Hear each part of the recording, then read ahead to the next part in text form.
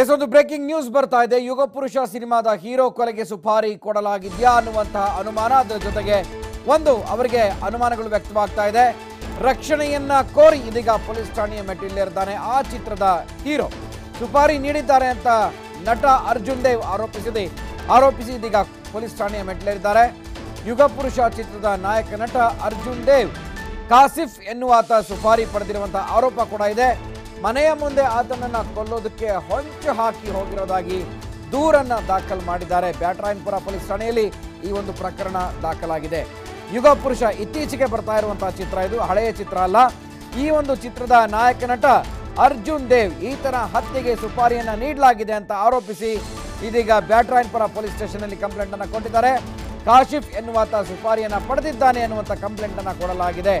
So, ಇದರ ಹಿನ್ನೆಲೆ ಏನು ಆಗಿದೆ ಅನ್ನೋದು ಕೂಡ ತಿಳ್ಕೊಳ್ಬೇಕಾಗುತ್ತೆ. ಇದೀಗ ನಟ ರಕ್ಷಣೆ ಕೋರಿ ಪೊಲೀಸ್ ಠಾಣೆಯ ಮೆಟ್ಟಿಲೇರಿದ್ದಾರೆ ಸುಪಾರಿ ಕೊಟ್ಟಿದ್ದಾರೆ ಅಂತ ನಟ ಅರ್ಜುನ್ ದೇವ್. ಈ ಒಂದು ಯುಗ ಪುರುಷ ಚಿತ್ರದ ಹೀರೋ ಅರ್ಜುನ್ ದೇವ್ ಎನ್ನುವಂತಹ ವ್ಯಕ್ತಿ ಇದೀಗ ಯುಗ, ಏನು ಬ್ಯಾಟ್ರಾಯನ್ಪುರ ಪೊಲೀಸ್ ಸ್ಟೇಷನಲ್ಲಿ ಕಂಪ್ಲೇಂಟನ್ನು ಕೊಟ್ಟಿದ್ದಾರೆ. ಯುಗ ಪುರುಷ ಚಿತ್ರದ ನಾಯಕ ನಟ ಅರ್ಜುನ್ ದೇವ್.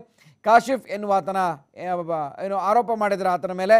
ಸುಪಾರಿ ಪಡೆದಿರುವಂಥ ಆರೋಪ ಕೊಟ್ಟಿದ್ದಾರೆ. ಆ ಒಂದು ಕಂಪ್ಲೇಂಟನ್ನು ಕೂಡ ಮ, ಕೊಟ್ಟಿದ್ದ, ಕೊಟ್ಟಿರುವಂಥದ್ದು. ಮನೆ ಮುಂದೆ ಕೊಲ್ಲೋದಕ್ಕೆ ಹೊಂಚು ಹಾಕಿ ಹೋಗಿದ್ದಾರೆ ಅನ್ನುವಂಥ ಆರೋಪವನ್ನು ಕೂಡ ಮಾಡಿದ್ದಾರೆ. ಬ್ಯಾಟ್ರಾಯನ್ಪುರ ಪೊಲೀಸ್ ಸ್ಟೇಷನಲ್ಲಿ ಪ್ರಕರಣ ದಾಖಲಾಗಿದೆ.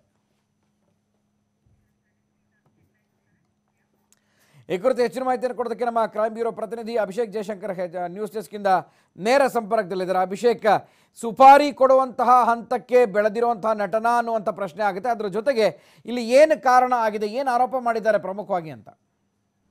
ಎಸ್, ಈಗಾಗಲೇ ಏನು ಕಾಶಿಫ್ ಎನ್ನುವಂತಹ ವ್ಯಕ್ತಿ ಏನಿದ್ದಾನೆ, ಆತ ಬೇಸಿಕ್ಲಿ ಸುಪಾರಿ ಕಿಲ್ಲರ್ ಆಗಿರ್ತಾನೆ. ಹೀಗಾಗಿ ಆತ ಒಂದು ನನಗೆ ಒಂದು ಸುಪಾರಿಯನ್ನು ನೀಡಿದ್ದಾನೆ ಅನ್ನುವಂತಹ ಒಂದು ಇನ್ಫಾರ್ಮೇಷನ್ ಬಂತು. ಹೀಗಾಗಿ ನಾನು ಬ್ಯಾಟ್ರಾಯನ್ಪುರ ಪೊಲೀಸ್ ಠಾಣೆ ಮೆಟ್ಟಿಲನ್ನು ಏರಿದ್ದೇನೆ ಅನ್ನುವಂತಹ ಒಂದು ದೂರನ್ನು ಬ್ಯಾಟ್ರಾಯನ್ಪುರ ಪೊಲೀಸರಿಗೆ ನೀಡಿರುವಂಥದ್ದು. ಈಗಾಗಲೇ ಈ ಸಂಬಂಧವಾಗಿ ತನ್ನ ಮನೆಯಲ್ಲೂ ಕೂಡ ಕಾಶಿಫ್ ಏನಿದ್ದಾನೆ, ತನ್ನ ಮನೆಯನ್ನು ಕೂಡ ಸುತ್ತಮುತ್ತಲು ಒಂದು ಸರ್ಚಿಂಗನ್ನು ಮಾಡ್ತಾನೆ.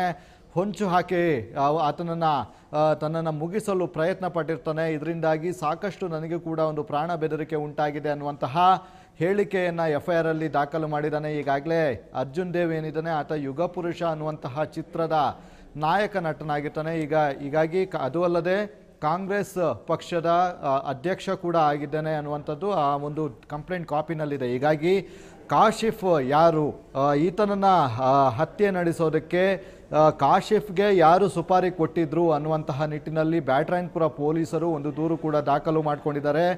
ಈ ಹಿಂದೆ ಏನಾದರೂ ಜಮೀನು ವ್ಯವಹಾರದಲ್ಲಿ ಆತನಿಂದ ಏನಾದರೂ ತೊಂದರೆ ಆಗಿದೆಯಾ ಅಥವಾ ಬೇರೆ ಒಂದು ಹಣಕಾಸಿನ ವ್ಯವಹಾರದಲ್ಲಿ ಅವರ ಇಬ್ಬರ ನಡುವೆ ಒಂದು ಜಟಾಪಟಿ ಆಗಿದೆಯಾ ಅನ್ನುವಂತಹ ನಿಟ್ಟಿನಲ್ಲಿಯೂ ಕೂಡ ಬ್ಯಾಟ್ರೈನ್ಪುರ ಪೊಲೀಸರು ಒಂದು ತನಿಖೆಯನ್ನು ನಡೆಸ್ತಾ ಇದ್ದಾರೆ. ಸದ್ಯದ ಮಟ್ಟಿಗೆ ನನಗೆ ಒಂದು ಗನ್ನ ರಕ್ಷಣೆ ಬೇಕು. ನನಗೆ ಜೀವ ಬೆದರಿಕೆ ಇದೆ, ಪ್ರಾಣ ಬೆದರಿಕೆ ಇದೆ. ಆತ ಯಾವಾಗಲೂ ಬೇಕಾದರೂ ಬಂದು ನನ್ನ ಏನು ಬೇಕಾದರೂ ಮಾಡಬಹುದು ಅನ್ನುವಂತಹ ಭಯದಿಂದ ಆತ ಒಂದು ಸ್ಟೇಷನ್ಗೆ ಹೋಗಿರುವಂಥದ್ದು ಅಲ್ಲೂ ಕೂಡ ಒಂದು ದೂರು ಕೂಡ ದಾಖಲಾಗಿದೆ ಗುರುಪ್ರಸಾದ್. ಅಭಿಷೇಕ್ ಇನ್ನು ಸುಪಾರಿ ಈತನೇ ಪಡೆದಿದ್ದಾನೆ ಅನ್ನೋದು ನಟನಿಗೆ ಹೇಗೆ ಗೊತ್ತಾಗುತ್ತೆ? ಹಾಗಾದ್ರೆ ಯಾರು ಕೊಟ್ಟಿದ್ದಾರೆ ಅನ್ನೋದು ಕೂಡ ಗೊತ್ತಾಗಿರಬೇಕು. ಸೊ ಈ ಬಗ್ಗೆ ಏನಾದರೂ ಕಂಪ್ಲೇಂಟಲ್ಲಿ ಉಲ್ಲೇಖ ಮಾಡಿದ್ದಾರಾ ಅಂತ? ಗುರುಪ್ರಸಾದ್, ಇದು ಕೂಡ ಒಂದು ಪ್ರಶ್ನೆ ಅಂತಲೇ ಹೇಳ್ಬೋದು. ಈಗಾಗಲೇ ಕಾಶಿಫ್ ನನ್ನನ್ನು ಕೊಲ್ಲಕ್ಕೆ ಬರ್ತಾ ಇದ್ದಾನೆ ಅನ್ನುವಂತಹ ಒಂದು ಮಾಹಿತಿಯನ್ನು ಯಾರು ಕೊಟ್ಟಿದ್ದಾರೆ ಅನ್ನುವಂಥದ್ದು ಕೂಡ ಪ್ರಶ್ನೆಯಾಗಿದೆ.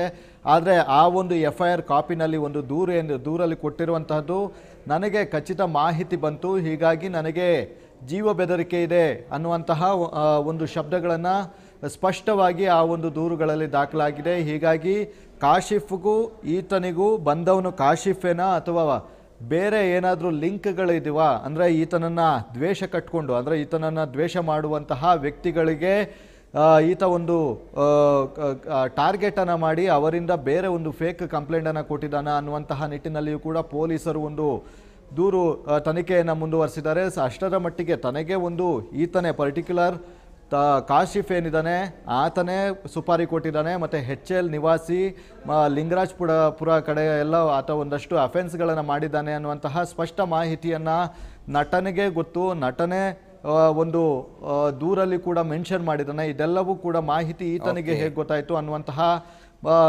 ನಿಟ್ಟಿನಲ್ಲಿ ಆ ಒಂದು ಆ್ಯಂಗಲ್ಸ್ನಲ್ಲೂ ಕೂಡ ತನಿಖೆ ಮುಂದುವರೆದಿದೆ. ಗುರುಪ್ರಸಾದ್.